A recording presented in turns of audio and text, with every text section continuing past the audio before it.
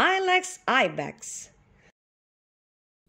Ibex reads I, I, I. Ibex reads I, I, I. Ibex reads I, I, I.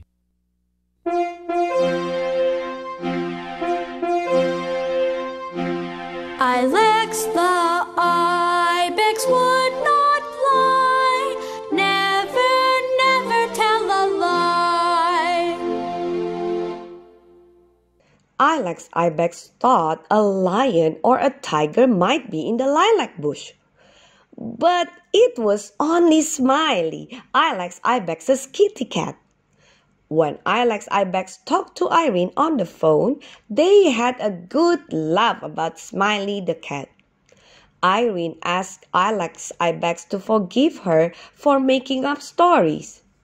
Irene remembered that it was never right to tell a lie. Later, Mama Ibex had a fine idea to earn money for the missionaries. Mama Ibex helped Ilex Ibex have a limeade stand out by their pine tree. The neighbors came by limeade made with sliced limes and ice.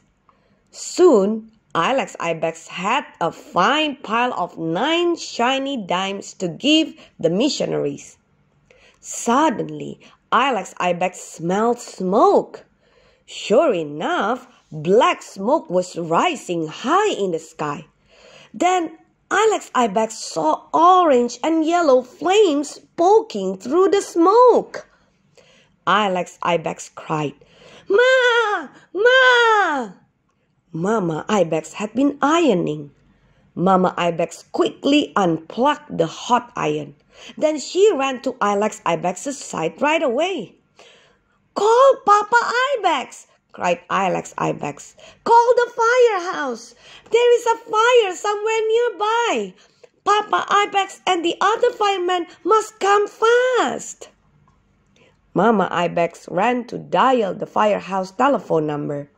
In quite a short time, Ilex Ibex could hear the sirens on the fire trucks.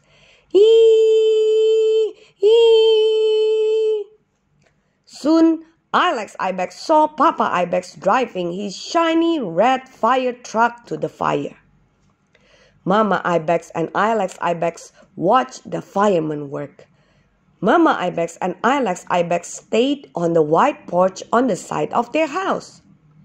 Papa Ibex had taught Mama Ibex and Ilex Ibex that it is not wise to get close to a fire. Ilex Ibex watched Papa Ibex work hard beside all the other firemen. Water pipes and long hoses were lying all around.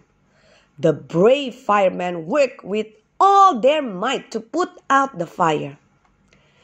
Finally, the fire was out. Papa Ibex and his firemen friends were grimy and tired.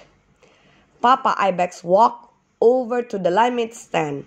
Ilex Ibex walked over to the limeade stand too.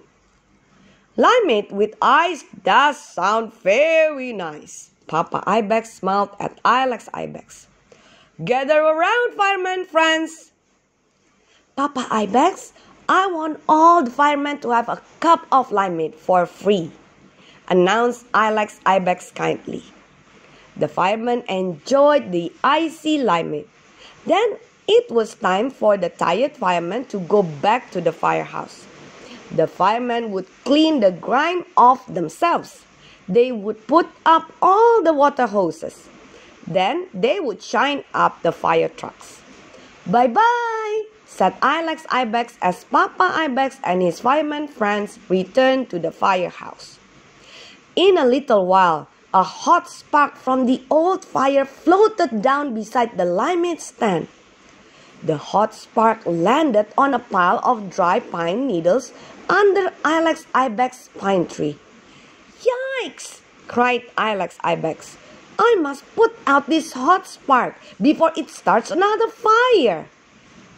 Ilex Ibex was thinking fast. I have an idea. I'll pour limeade on the hot spark, exclaimed Ilex Ibex. Ilex Ibex quickly poured limeade on the hot spark. Phew! Mama Ibex had been watching Ilex Ibex. That was quick thinking, called Mama Ibex. You are very brave, Ilex Ibex.